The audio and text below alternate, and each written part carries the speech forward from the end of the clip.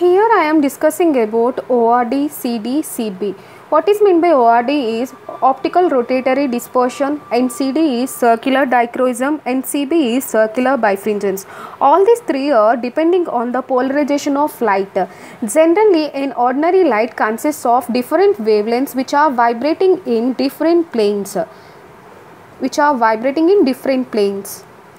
So this is an ordinary light so this is an ordinary light. It is also known as unpolarized light. Unpolarized light. But ORD, CD and CB are depending on the polarized light. That process is known as polarization of light.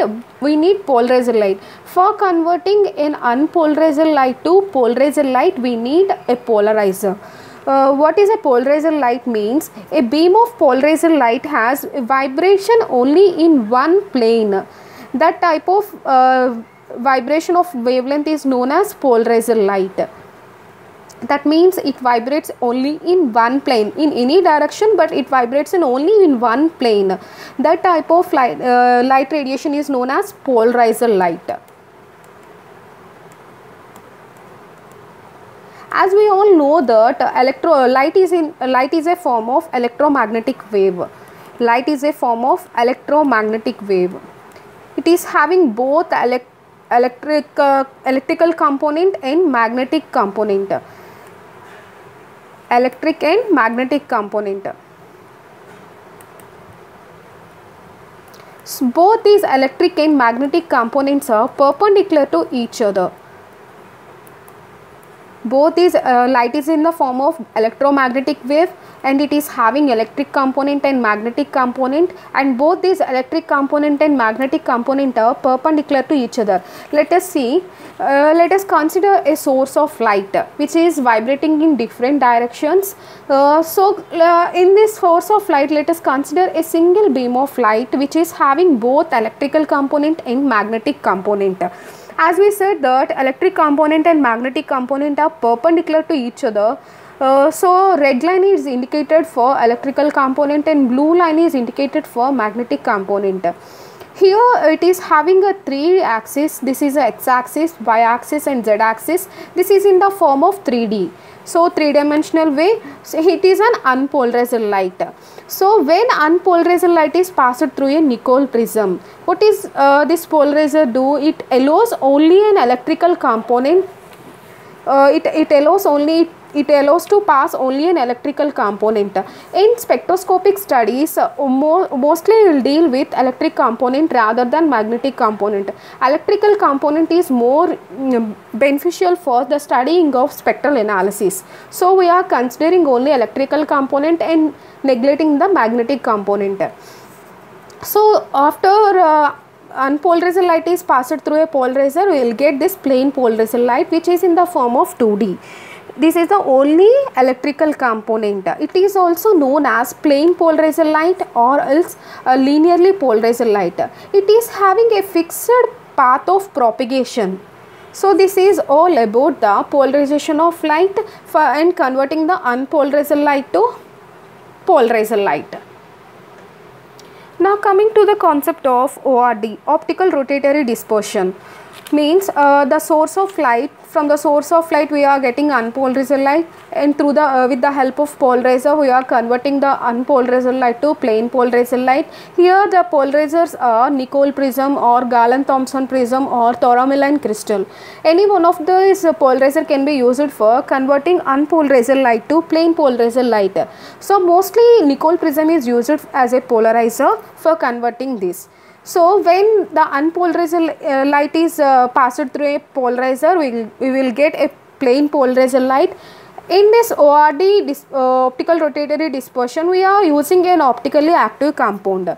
So what is meant by an optically active compound? The compound which is having a chiral carbon, chiral center and which is which is capable of rotating the plane of polarized light.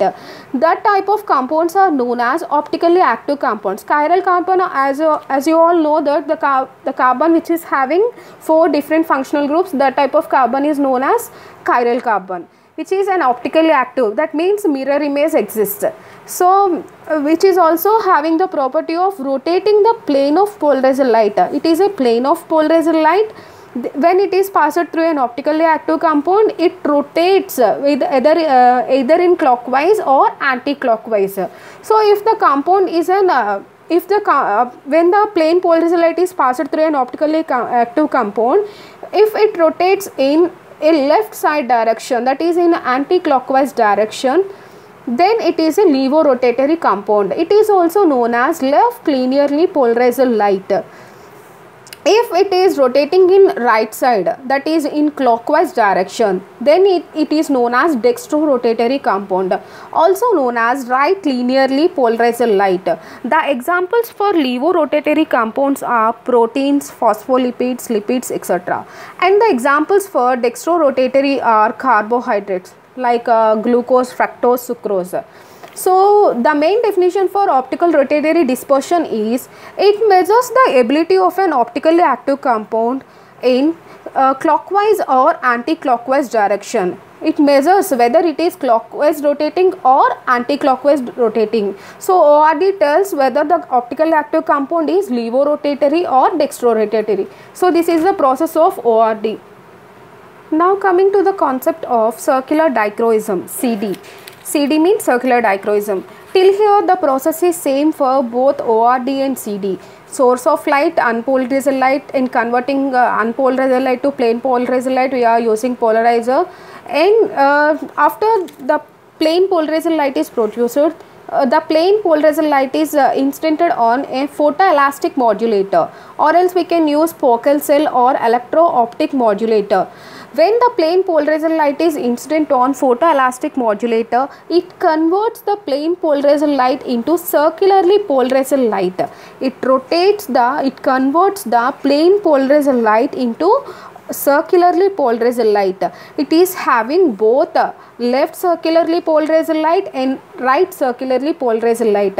From left side, this is known as left circularly polarized light and from right side, starting from right, it is known as right circularly polarized light.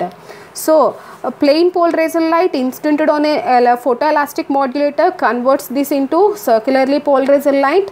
Then the circularly polarized light is incident on an anisotropic medium or optically active compound. Anisotropic medium means it is having a direction dependent so anisotropic medium or an optical active compound we can use.